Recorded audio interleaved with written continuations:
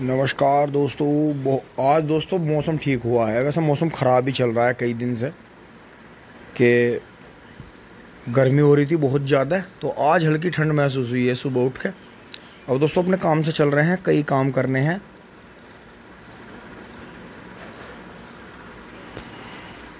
और दोस्तों मेरा मुँह ऐसा हो रहा है तो जी थोड़ा सा चलते हैं। एक काम करके आते हैं छोटा सा। नीचे आ गए हैं जी। सब अपने अपने कामों में लग रहे हैं। तो यहाँ दोस्तों दूध वगैरह सब निकल गया है। बाकी अब चलते हैं एक बार, फिर थोड़ा सा काम खेत में करेंगे। थोड़ा काम बाज़ार में है। थोड़ी देर के लिए जाना पड़ेगा। चल रहे हैं जी। अब दोस्तों आ लिए हैं वहाँ से काम निपटा के। कपड़े बदल लिए हैं। अब दोस्तों चल रहे हैं मोटरसाइकिल लेके। बबलू भाई के पास में जो हमारा पत्ती का काम रह रहा है, उसे करते हैं। क्योंकि दोस्तों, आपको पता ही है, ये ऐसे पेचीदा काम रहते हैं। इनमें बड़ा बरीकी का काम है कई कई आदमियों का लगने काम है। फिर दोस्तों, दोपहर बाद ट्रॉली भरनी है। खेत में आ गए हैं जी, और थोड़ा सा पत्ती का काम कर लेते हैं। फिर दोस्तों, चलना पड़ेगा। तो गाय की दवाई लानी है, कई काम करने हैं। तो वे काम भी करेंगे। और यहाँ देखें जी, जो ये मोनू भाई का ज़ीरो एक सौ अट्ठारह का बीज कटा था। इसकी पेडी भी अच्छी फूट के आ रही है। तो अट्ठारह बीज दोस्तों चल सकता है, बस थोड़ा काटी से ही जो है छीलने वाले थोड़ा हट रहे हैं इससे, लेकिन ज़ीरो एक सौ अट्ठारह जो बीज है, ये अच्छा बीज है। मोटा गन्ना है, बहुत ज़्यादा ब्यात करता नहीं है। तो अभी अड़तीस के साथ में इनकी बुआई करते रहें। तो दोस्तों अपना पत्ती भी लग जाते हैं फटाफट। अब वहाँ से बबलू भाई के पास में आ गए हैं। जी, ये देखो, नाली बढ़िया साफ़ कर दी है बबलू भाई ने। और इधर भी पानी मांग गया है। अभी सभी पानी देना पड़ेगा, क्योंकि अभी हमारा गन्नों का काम चल रहा है। और हम ये चाह रहे हैं कि घास कितनी भी हो जाए, कोई दिक्कत नहीं, एक ही बार रूटर मार देंगे ऊपर, छोटे ट्रैक्टर से। तो जितना भी गन्ना उग जाए उग जाए। और दोस्तों, इधर भी देखा आप, ये गन्ना उग गया है। देखो जी, यहाँ सारा, ये ज़ीरो है। ये देखो जी, कैसे खूड़ लग गए धाए धाए ये देखे जी, यहाँ भी यहाँ भी यहाँ भी सारे में जो है गन्ना उग गया है। वैसे नीलगांव ने थोड़ा खून दिया है, लेकिन कोई नहीं। अब ये उगता रहेगा, बस पानी आता रहेगा। इसे हल्का हल्का डोज बहुत पड़ी है खेत में। घास की कोई दिक्कत नहीं है, बस एक बार छोटा ट्रैक्टर ला के इसमें एक बार रूटर मारना, छुट्टी। हरी खाद की जो है मतलब हरी घास की हरी खाद बन जाएगी फिर। फिर कोई दिक्कत नहीं। यार ये देखो जी नीलगांव ने कैसे बड़े गेहूँ खून रखे हैं, मानती नहीं, आती हैं। क्योंकि जंगल उन्हीं का है, वो कहीं भी घूम सकते हैं। तो दोस्तों फिर चल रहे हैं, अपना पत्ती का काम कर लेते हैं। ट्वेल्व चल रही है। ताज़ा पानी पी लें जी सभी। ये इधर भी देखो, गन्ना उग गया है, बहुत बढ़िया। पानी चल ही रहा है। तो अपना चले चलते हैं। वो देखो जी, भाई वहाँ बिजार लेके जा ही रहा है। अपना बुग्गी में काला बिजार, टिंग टोंग, उधर ही चले चलते हैं। मोटरसाइकिल यहीं रहने देंगे। चलते हैं फटाफट। आगे हैं जी खेत में। लगते हैं काम काम पे फटाफट। आज मिंदर को नहीं मंडा रहे हैं क्योंकि दोस्तों गन्ना सीज़न रह रहा है और मिंदर फिर डिस्टर्ब हो जाता है तो इसलिए भाई डिस्टर्ब ना हो तो अपना काम हम खुद ही कर लेंगे आराम आराम से। कोई दिक्कत नहीं है। फिर दोस्तों इसमें जो है बबलू भाई को नया आइडिया आ गया है बहुत बेहतरीन वाला। हमारा छोटा ट्रैक्टर ही जोत देगा इसे वो किस तरह से इसे जुताई करेगा वो आइडिया आपको उसी दिन दिखाएँगे जिस दिन वीडियो बनेगी। कॉपी राइट हो जाएगा जी पहले। दोस्तों, अब यहाँ काम करते हुए लास्ट में आ गया देखो सचिन भाई सुबह की कटे हुई है। ताजे ताजे गन्ने लेकर आ गए हैं। तो तुम मील में जाओगी? हाँ सही है भैया। और देखो जी, फंसका हुआ है ट्रॉली। ये देखो जी, हमारे गाँव की बहुत छोटी ट्रॉलियों में है।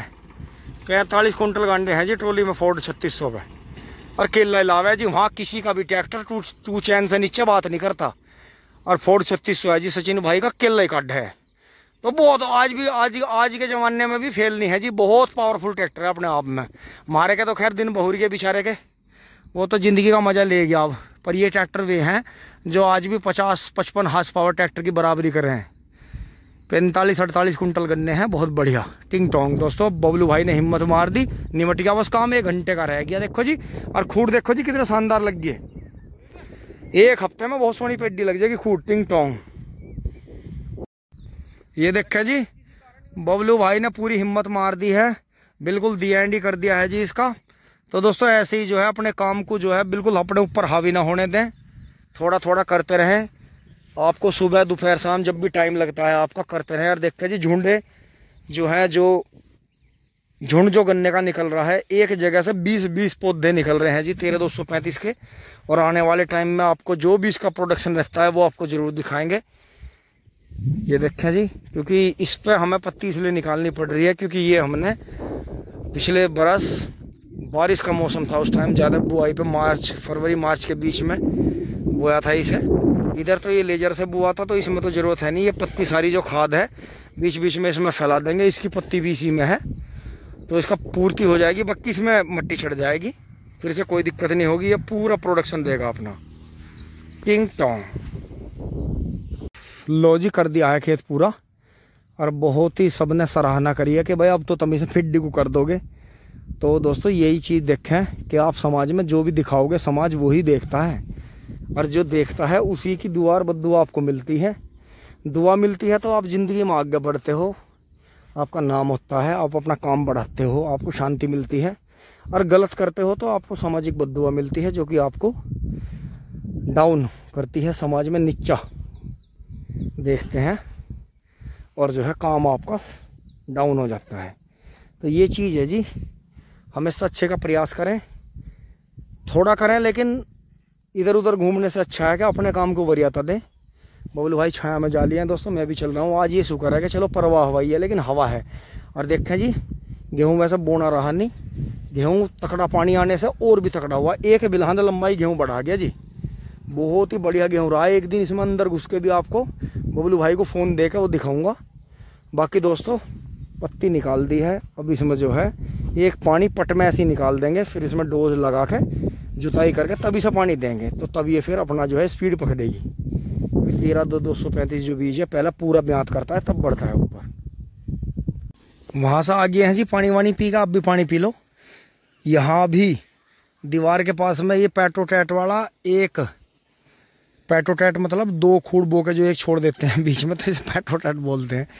तो दोस्तों, इसमें बुहेर गन्ना हमने ट्रेंच का इसलिए नहीं बोया, क्योंकि इसमें दोनों तरफ़ के धोरे भी बोरे हैं और इसमें जो है, अगर हम इसे उजाड़ के फागन का बोते तो भी इतना ही गन्ना निकलता है इसमें। अब इसमें हमें बेनिफिट हो जाएगा कि एक तो हमें ये उजाड़ते, तेवरसी पेडी खराब होती उजड़ के फागन का बुत्ता दूसरा नुकसान ये था कि अगले बरस गेहूँ नहीं बो पाते। अब इसमें दो बेनिफिट हो गए हमारे, कि एक तो हमारा ये हो गया उजाड़ना नहीं पड़ा, हमें पत्ती फैलवा दी थी। अब इसमें डोज लगा के टू फोर डी मार देंगे।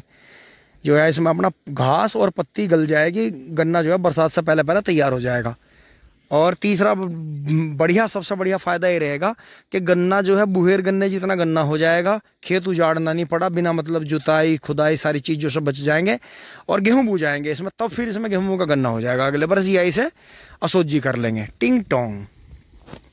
अभी एक घंटा पानी और चलेगा इसमें।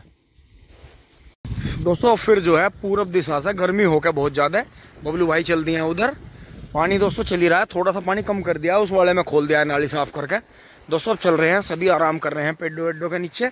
जंगल में कोई नहीं है। सभी किसान भाई जो हैं अपने बुग्गी, ट्रैक्टरों से लग रहे हैं गन्ने में। लेकिन अब दोपहर में इतनी ज़्यादा गर्मी है कि देखो वहाँ से मंदिर पे से भी, माता के मंदिर पे से भी सब नीचे उतर गए हैं। छाया में चले गए हैं पेडो की। तो दोस्तों, हम भी चलते हैं फटाफट। घर से फ़ोन आ रहा है बच्चों का। खाने के लिए आप भी खाना खा लें। टिंग टोंग। तो दोस्तों, इसी तरह से काम करेंगे धीरे धीरे अपना दोस्तों, अब भी हम अपना तीन दिन में पिड्डी पाड्डियों को ना सबको दवाई वगैरह मार के कवर कर देंगे। क्योंकि दोस्तों, अगर हम लगते हैं, फिर फ़सल आ जाएगी गेहूँ की तो फिर करीब इनमें डेढ़, दो महीने बाद डोज लगेगी। अगर हम इन्हें अभी कर देंगे तो ये खेत जो है पानी वानी आँख है। और इसकी अढ़ावे की देखो, जैसे चौड़ा पत्ता हो रहा है ये बहुत ज़्यादा बड़ा हो जाता है दोस्तों, ये इतना बड़ा हो जाता है कि गन्ना नहीं दिखता, क्योंकि ज़मीन में ताकत है इसे जो है, प्राकृतिक शक्ति मिली हुई है तो इसका टू फोर डी और यूरिया मिला के हल्का हल्का हरी खाद बना देंगे इसकी तो आगे काम चलता रहेगा, इतने गेहूँ की फ़सल आएगी, इतने अपना गन्ना सही से डाल देंगे, टिंग टोंग। धन्यवाद, जुड़े रहिए, अपना प्यार, आशीर्वाद, सपोर्ट बनाए रखें। टिंग टोंग।